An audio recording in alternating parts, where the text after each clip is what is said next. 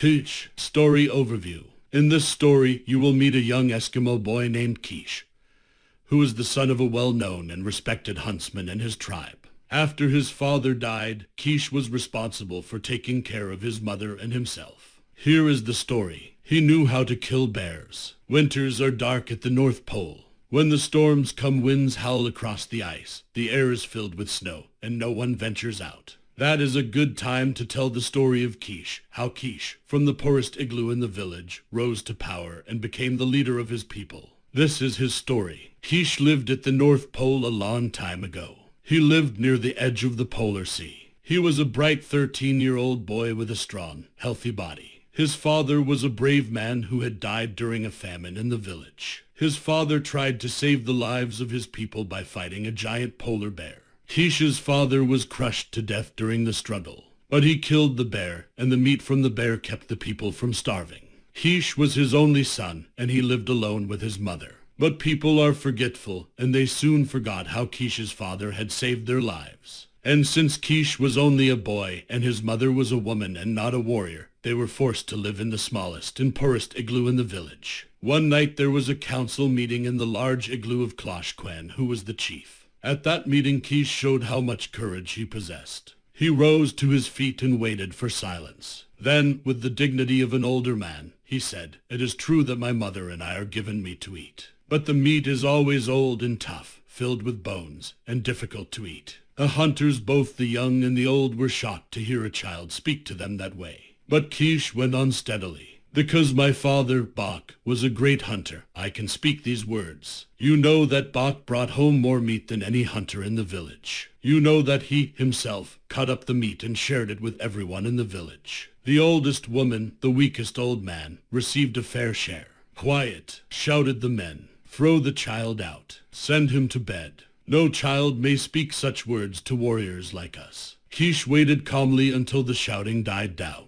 My mother has no one except me, and therefore I must speak. My father put his life in danger and died to provide food for this village. It is only right that I, his son, and Ikeega, who was his wife, should have enough good meat to eat as long as there is plenty of good meat in the village. I, Keesh, the son of Bok, have spoken. He sat down. He could hear angry murmuring all around him. It is not right for a boy to speak like that in this council, old Ugluk was muttering. Mashuk stood up. Shall a child tell us how to act? He demanded loudly. I am a man. Must I listen to every child who cries for food? Some of the men began to shout at Keesh. They ordered him to leave. They threatened to punish him by not giving him any food at all. Keesh's eyes flashed and the blood pounded under his skin. In the midst of the noise and the uproar, he jumped to his feet. Listen to me, you men. He shouted. I shall never speak in this council again, not until you come to me and say, Keesh, we want you to speak. Keesh raised his arm and said, My father, Bok, was a great hunter. I, his son, shall also go out and hunt the meat that I eat. When I return with meat, I will divide it fairly. No old person will cry out in hunger at night, while young warriors are holding their stomachs in pain because they have eaten too much. I, Keesh, have said this. They laughed at Keesh and followed him out of the igloo, shouting at him. But Keesh said nothing more. He walked away with his head erect, looking neither to the left nor the right. The next day Keesh went down to the shore where the ice and the land came together. Those who saw him go noticed that he carried his bow and a large supply of arrows. Across his shoulder was his father's big hunting spear. There was laughter and much talk, for nothing like this had ever occurred before. Boys of his age did not go out to hunt, and they certainly never went out to hunt alone. People shook their heads gravely, and the women looked sadly at Ikeega, who was extremely worried about her son. He will be back before too long, said the women to cheer her up. But the hunters said, let him go. This will teach him a lesson. He will return shortly. Then he will be quiet and meek and will know his place in the village. But a day passed, and a second day, and on the third day there was a storm, and wild gales blew, and still there was no Keesh. Ikeega's face was filled with grief, and the women spoke bitterly to the men, saying that they had mistreated the boy and had sent him to his death. The men did not answer, and they prepared to search for the body when the storm was over. Early the next morning, however, Keesh marched into the village. But he did not return in shame. Across his shoulders he carried some fresh killed meat. and when he spoke, it was with authority and pride. He said to the men, Take some dogs and sleds and follow my path for a day. Eventually you will find much meat on the ice, a bear and her two cubs. Ikeega was overjoyed, but Keesh said simply, Come, Ikeega, let us eat. After that I shall sleep, for I am weary. And he went into their igloo and ate a great deal, and then he slept for twenty hours. At first there was much doubt and discussion. It is very dangerous to kill a polar bear, and it is three times as dangerous to kill a mother bear with her cubs. The men could not believe that the boy Keesh, all by himself, had accomplished something so incredible. But the women pointed out that he had returned with fresh killed meat on his back, and this was a powerful argument. So the men finally departed, grumbling, and saying that even if it were true, he had probably not cut up the carcasses one into pieces. In the north it is very important to do this as soon as the kill is made. If not, the meat freezes so solidly that it cannot be cut, and a 300-pound bear, frozen stiff, is a very difficult thing to put on a sled and haul over bumpy ice. However, when they arrived at the spot, they found not only the kill, which they had doubted, but that Keesh had cut up the carcasses exactly the way a hunter should do it. Thus began the mystery of Keesh. It was a mystery that deepened and grew with the passing of the days. On his very next trip, Keesh killed a young bear, and on the following trip he killed two large bears. Usually he was gone for three to four days, although it was not unusual for him to stay away for a week at a time. And Keesh always went alone, for he did not wish to have company on these trips. The people were amazed. How does he do it? They asked one another. He never even takes a dog with him, and dogs are such a great help too. Why do you hunt only bears? Klosh Kwan asked him one day. Keesh gave him a very good answer. Everyone knows that there is more meat on the bear, he said. But people in the village also talked about magic. He must know magic, some of the men said. Perhaps he hunts with evil spirits, and the evil spirits help him. But other people said maybe the spirits are not evil, but good. You know that his father was a mighty hunter. Is it possible that his father, somehow, helps him to hunt? It is hard to understand. Who knows? Still, his success continued, and the less skillful hunters were often kept busy hauling in his meat. He shared the meat fairly. As his father had done, he made sure that the weakest old woman and the frailest old man received a fair share. As for himself, he never took more than he needed. Because of this and his ability as a hunter, Keesh was looked upon with great respect. There was talk about making him chief after old Klosh Kwan died. They hoped that Keesh would come to the council again to speak, but he never did, and they were ashamed to ask him. I wish to build an igloo for myself, Keesh said one day to Klosh Kwan and some of the hunters. It should be a large igloo where Ikeega and I can dwell in comfort. Yes, they nodded, but I have no time. My business is hunting, and it takes all my time. So it is only right that the men and women of the village who eat my meat should build me my igloo. The igloo that they built was very spacious. It was even larger than Klosh Kwan's igloo. Keesh and his mother moved into it, and it was the first comfort she had enjoyed since the death of Bok. And because of her wonderful son, she came to be looked upon as the most important woman in the village, and the other women visited her to ask for advice and to be guided by her wisdom. But it was the mystery of Keesh's marvelous hunting that was the main thing on everyone's mind.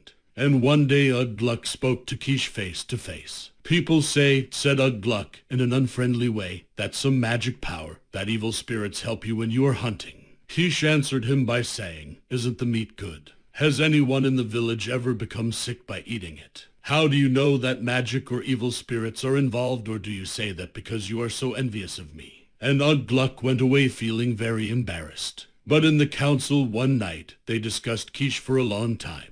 Finally, they decided to spy on him when he went out to hunt, so that they could learn his methods. On his next trip, two clever young hunters, Bim and Bawn, followed Keesh. They stayed a good distance behind him and made sure that he did not see them. They kept an eye on him and on everything he did. Five days later they returned, eager to tell what they had seen. The council was hastily called, and Bim began to speak. He said, Fellow warriors, as you ordered, we followed Keesh. We followed him very slyly, so that he was not aware we were behind him. In the middle of the first day, he saw a large bear. It was a very large bear. I have never seen a bigger one, said Bawn. But the bear did not wish to fight, said Bim, for the bear turned away from Keesh and went off in the other direction over the ice. We saw this as we watched from the rocks near the shore. Then the bear came our way and Keesh ran after him, completely unafraid. Keesh shouted loudly at the bear, waved his arms around, and continued to yell. Then, finally, the bear got angry, rose up on his hind legs, and began to growl.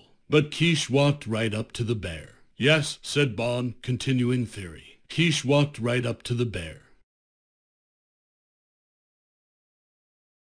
But as Keesh ran, he dropped a little round ball on the ice. The bear stopped and smelled it, then swallowed it. Kish continued to run away and drop little round balls, and the bear continued to swallow them all. There were cries of doubt, and Ugluk said that he did not believe it. We saw it with our own eyes. Bawn exclaimed. Yes, said Bim, we saw it with our own eyes. This continued, and then the bear suddenly stood upright and roared loudly in pain and ran around wildly, beating its paws madly against its body. Keesh ran a safe distance away, but the bear ignored him, since it was concerned only with the terrible pain the little round balls had caused inside him. Yes, Bawn interrupted him. It was a pain inside him because he clawed at himself and growled and squealed and jumped frantically around. I never saw such a sight. Never, said Bim. And furthermore, it was a very large bear. Perhaps it was some kind of magic, Ugluk suggested. I do not know, Bim replied. I can only tell you what I saw with my eyes. After a while the bear grew weak and tired, for he was very heavy and had been jumping around violently. Finally, he went off to the ice along the shore, shaking his head slowly from side to side, and sitting down now and then to squeal and cry.